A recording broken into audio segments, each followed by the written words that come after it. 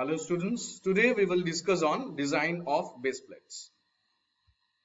So we have a base plate which is a structural member which connects the column with the foundation below which is made up of concrete. We used to provide anchor bolts or holding down bolts, HD bolts to connect the column with the foundation with the help of this base plate. We have two types of base plates. One is slab base and another is gusseted base. In this chapter, today's lecture, we will discuss on slab base. We have two types of slab base problem here. One is axially loaded column base plate and another is beam column base plate. First problem is of axially loaded column base plate which is made up of ISMB 200 and is subjected to 1000 kilonewton of factored load. The grade of steel is E250 and the pedestal concrete is of made of with grade M20. So here we will see that the clause of IS 800 is referred which is 7.4 of page 46 which gives the provision of the code. First provision that we have to consider the bearing permissible bearing pressure. The maximum bearing pressure should not exceed the bearing strength equal to 0.6 FCK where FCK is the smaller characteristics cube strength of the concrete or bedding material. So first of all we have calculated the bearing strength of the concrete which is coming as 0.6 FCK is equals to 120 uh, 20, uh, 20 Newton per millimeter square equals to 12 MPa. Now to find out the area required of the base plate we have divided the permissible bearing pressure uh, uh, by the we have uh, the axial load is divided by the this permissible bearing pressure and it is coming as 83.33 millim into 10 to the power 3 millimeter square. We have multiplied this as with uh, 10 to the power 3 to convert it in Newton.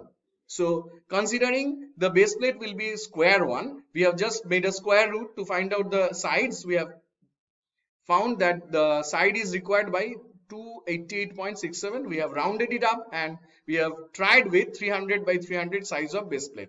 Now the upward bearing pressure is checked which is coming as 11.11 MPa while dividing by the area. So it is less than this permissible bearing pressure so it is okay. Now safe. So this permissible bearing pressure will give a upward pressure on the base plate and this portion will behave as a cantilever to deform. So we want to find out uh, what should be the thickness of the base plate to resist this deformation. We'll have a uh, look up the clause in page 47 where we will see the clause 7431 the maximum thickness TS or of rectangular slab base supporting column under axial compression shall be this one. So we have chosen this formula where it should not be it should not be less than the thickness of the flange of the column. And W is the upward pressure. AB is the larger and smaller projection respectively of the slab base beyond the rectangular circum, uh, circumscribing uh, of column. And we will see here we have calculated this one. W is known to us it is 11.11 now B and A is we have subtracted this portion. For ISMB 200 the overall depth is 2 200 so we have mm, subtracted it from 300 and divided by 2 gives us 20, 50 millimeter. And in this side the flange width is 100 so it is given as 100 millimeter. So the a dimension is a is equals to 100 millimeter. Here here you will see a. And the b is equals to 50 millimeter. So after putting these values in the formula we got the permissible uh, permissible or required thickness of the base plate. It is coming as 33.62. We have provided 36 millimeter base plate. So hence it is okay. After this, the axially loaded uh, column base plate is completed. Now we'll go to the second problem where we'll see we have an axial load along with a moment. So thus we have said that this is a column beam or beam column.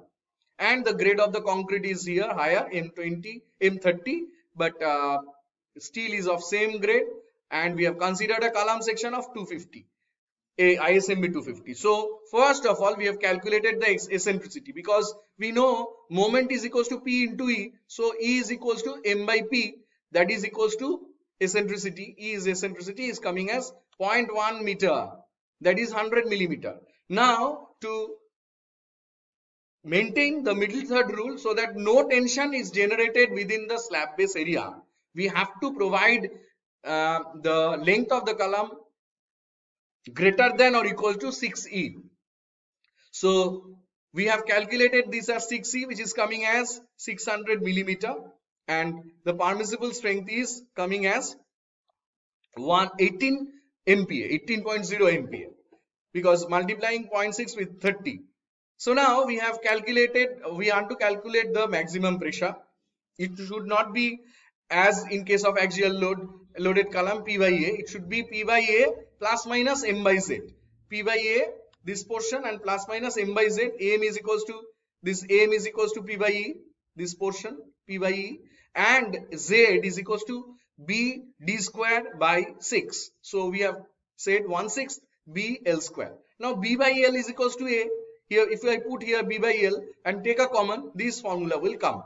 So we have just equated this maximum stress with the permissible stress value and we got that the base uh, uh, width should be equals to minimum of 139 we may go even larger than this. So but this 139 may not be sufficient because we have to provide minimum 100 millimeter projection beyond this because we have to provide some anchor bolts here in the four sides of the base plate. So we have tried to calculate the width minimum requirement of the width and it is coming as you see it is coming as 125 plus 100 uh, in two sides is 325 but again we have rounded up that if one side of the length is 600 other side should be minimum 400 or 450 we have considered 450 millimeter of the width of the base plate.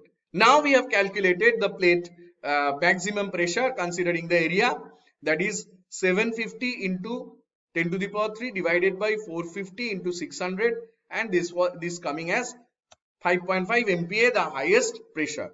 In the other side if you put this symbol as instead of this positive sign it is plus minus. If you put minus instead of this it will come as 0 so the pressure pressure distribution along the length will be 0 at one side and other side it is 5.5 from here up to here.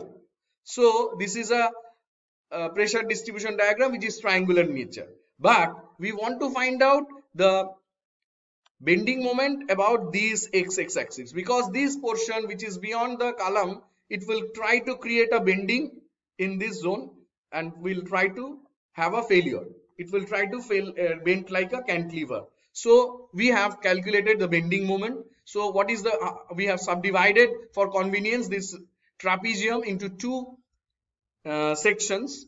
One is rectangular section and number two is triangular section. So area of this pressure diagram will be the load and the CG distance. So area is 3.9 because we have calculated interpolated linearly from uh, for the uh, similar triangle this portion and this big triangle it is coming as 3.9 this value here to here it is coming as 3.9 so this rectangular is of 3.9 distance 3.9 3.9 into 1.75 into 1.75 by 2 because we want to take the moment. So this is the cg distance.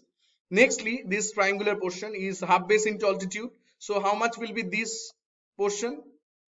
This portion is calculated as 5.5 minus 3.9 because the up to this is 3.9 full is 5.5 so this small portion will be 5.5 minus 3.9 into the height 175 into the CG distance is two third from here. So two third 175 it's coming as 76052 Newton millimeter per millimeter. Why per millimeter? Because we have considered a unit width along this along this portion unit width. We used to calculate it as a unit length. You may say 1 meter, 1 millimeter. If you consider Newton millimeter, it should be per millimeter. So now the permissible, uh, say let the thickness of the plate will be T millimeter. So permissible bending moment will be 1.2 Zd Fy by gamma M0 which we have referred in the case of beam for beam calculation or beam design for irreversible settlement or irreversible deformation this formula was considered in that case. We may go to the beam provision we may see that. So if we equate this with the permissible bending uh, sorry the bending moment coming on the structure on basis of that we have we may calculate the t. What should be the zd 1 width is 1 and it is t square by 6 bd square by 6 is the uh, permissible section modulus. So 1.2 this one Fy will be substituted by 250 and this gamma M0 will be 1.1 and if we equate with this permissible bending moment it is coming as 41 millimeter thickness. So we have provided 42 millimeter. So students after this we have completed the slab base.